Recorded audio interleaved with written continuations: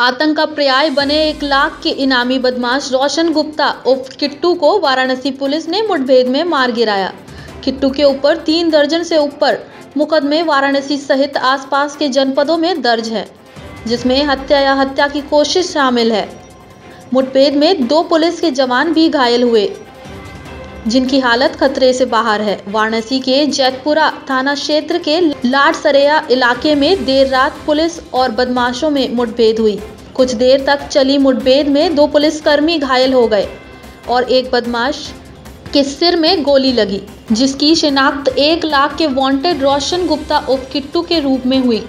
Police उसे लेकर कबीर चौरा मंडली अस्पताल लाई, लेकिन डॉक्टरों ने उसे मृत घोषित कर दिया। पुलिस को मुठभेड़ स्थल से दो पिस्टल काफ़ी मात्रा में गोलियाँ और एक पैशन बाइक भी मिली है। वाराणसी के एसएसपी अमित पाठक ने बताया कि 2015 में वाराणसी में एसटीएफ और रोहित सिंह उर्फ़ सनी की मुठभेड़ में मौत हो गई थी।